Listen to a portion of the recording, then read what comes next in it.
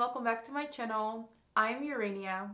Today's video is going to be about the popular Netflix show Bridgerton and in specific all the dating lessons that I got from the show. That being said, it's time to start today's video.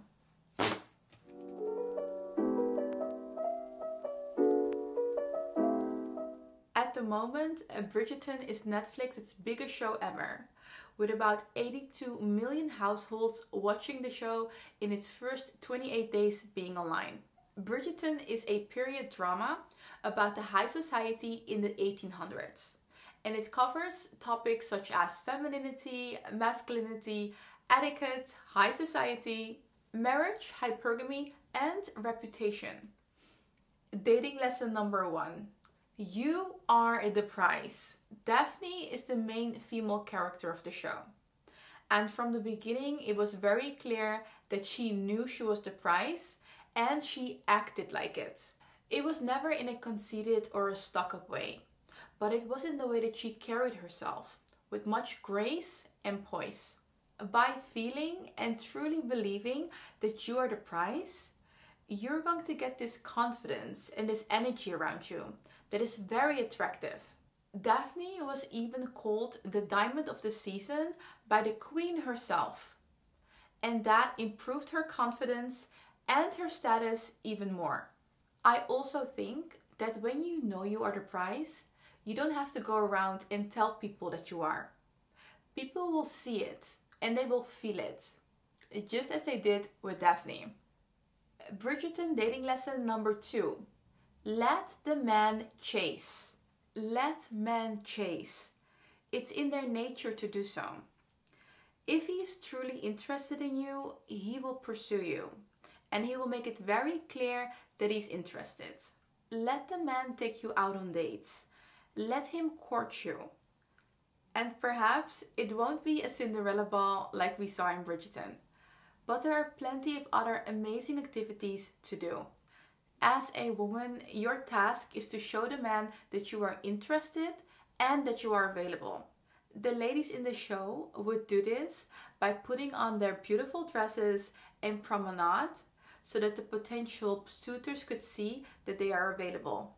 From that moment, it is the man's job to pursue the woman and win her over. I'm talking flowers, dates, you name it. Up next, it's time to talk about the man of the show the Duke of Hastings, Simon, and the Prince. Well, I'm going to say it immediately. I think she made the wrong decision and should have picked the Prince. And I will explain to you why I think that. The reasons why I think the Prince was the better choice is that the Prince was very clear in his communication. He was very clear that he wanted to get married and he wanted children. He also proposed to her. The prince was very honest in what he felt and what he wanted, and nothing was unclear when it came to him. Up next, Simon. In my opinion, Simon had so many red flags. He was bad when it came to communication. He seemed emotionally unavailable. He pushed her away when he actually wanted to have her closer. Simon is also known as being a rake, and a rake is a ladies' man. Simon also did not want to get married, and he told Daphne that he could not have children, which was not completely true. He didn't want to have children.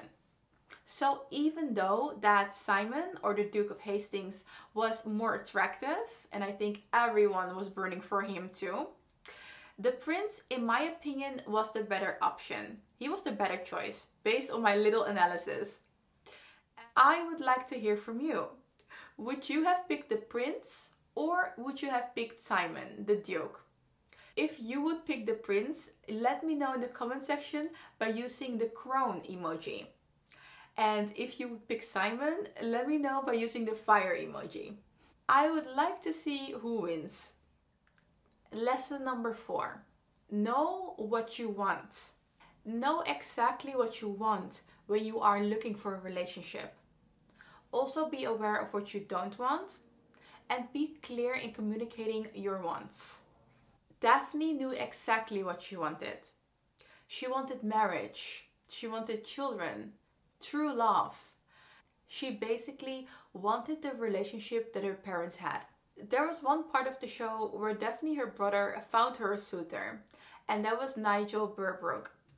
She was very clear in communicating to her brother and to Nigel Berbrooke that he was not the man for her. Unfortunately, he did not really take that message well.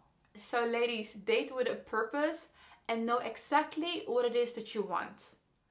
Bridgerton dating lesson number five always look your best and act like a lady. Appearance and behavior are very important. And all the ladies in the show, they looked amazing and they acted like ladies.